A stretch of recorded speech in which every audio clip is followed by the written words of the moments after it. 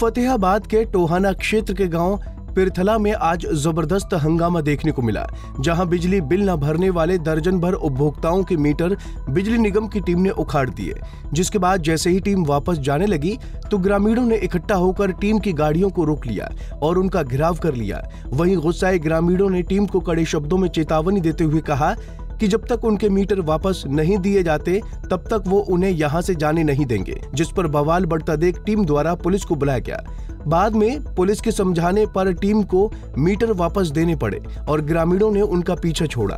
क्या मामला के? जी, मैं बिल वर्क आई थी यार मेरा मीटर के ले गए पट के मांग करते सत्त सौ रुपया बिल का आया था, उम्र पर तो भरया को नहीं गया। जरा पिछला था, सारा क्लियर कर दिया था। ना मैं मारा, वो भी गलत कर रखे इन्होंने। हाँ मीटर। नाम किसी का, होर चढ़ा रखे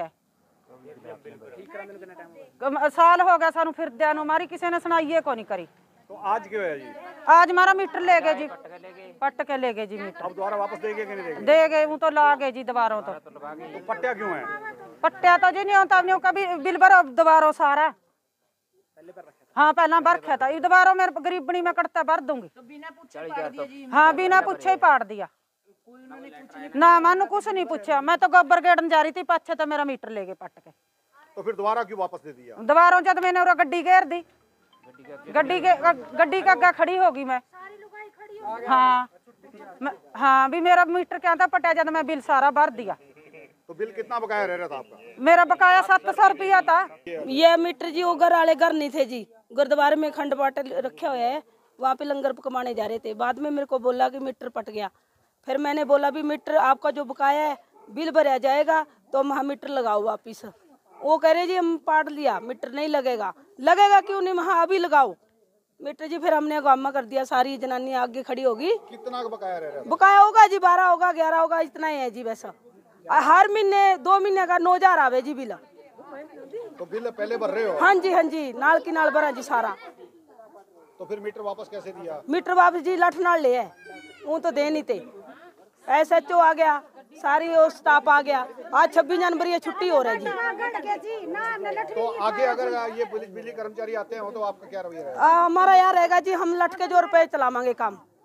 तो बिल भरते रहो। हाँ बिल भरांगे जी। जो भी कोई कानून कार्रवाई है वो होगी जो इन वर्ग के गरीबा की नहीं सुनते जी उनकी सुनवाई होनी चाहिए। हमारे तो जी जायदाद भी है साधन भी है हम तो आपकी भरन लग रहे हैं जी। एक दो बारी जी बच्चे इस तरह को नहीं भर सकते। तो गरीब आदमियों को तंग किया हाँ। जी बिल्कुल सरेआम करे जी। सारे घर की जो कोई अगर चानन में किसी के छोटे बच्चे हैं कोई दिहाड़ी इधर के लेट आता है उनके घर में जो कुंडी लाके चानना करते हो तो पाँच बजे भी कुंडी वाले आ जाते हैं सवेरे सवेरे। वो भी उतार ले वहीं ग्रामीणों ने बिजली कर्मचारियों पर गंभीर आरोप लगाते हुए कहा कि पहले तो बिजली कर्मचारी ही बिजली चोरी करवाते हैं और फिर जो चोरी करते हैं उनसे उगाही करते हैं। वहीं जो व्यक्ति उगाही नहीं देता उनके मीटर उखाड़ लिए जाते हैं। आज बिजली कर्मचारियों के द्वारा सरेआम गाँव के अंदर गुंडागर्दी की गई और कम से कम 10 से 12 घरों के अंदर मीटर पाड़ लिए गए। ये सरेआम बिजली कर्मचारियों के गुंडागर्दी है। इनकी सह पर गाँव के अंदर चोरियाँ होती है।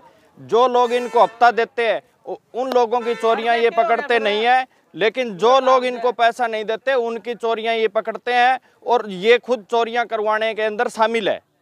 तो आज क्या हुआ था? आज जिन लोगों के मीटर पाड़े गए थे, उनके द्वारा एसएचओ को जो एसडीओ डीएफपीवी अनुकुलाना था, उसको यहाँ रोका गया था। उसके बाद यहाँ पे पुलिस प्रशासन के द्वारा बातचीत करने के बाद जब मीटर दोबारा लगाए लगाए जाएँगे अभी दोबारा इन लोगों के, तब एसएचओ, एसडीओ को यहाँ से जाने दिया गया है। बहरहाल नाराज़ ग्रामीणों ने साफ़ तौर पर कह दिया है कि अगर दोबारा बिजली कर्मचारियों द्वारा उन्हें नोटिस दिया गया इस तरह की कार्रवाई अमल में लाई जाएगी तो वो भी ईंट का जवाब पत्थर से देंगे। टोहाना से सुशील सिंगला, पंजाब केसरी टीवी। हमसे जुड़े रहने के लिए हमारे YouTube चैनल को सब्सक्राइब करें और नई वीडियो की नोटिफिकेशन के लिए बेल आइकॉन को दबाएँ। अगर आप ये वीडियो Facebook पर देख रहे हैं तो लाइक ज़रूर करें और ज़्यादा से ज़्यादा शेयर करें। धन्यवाद।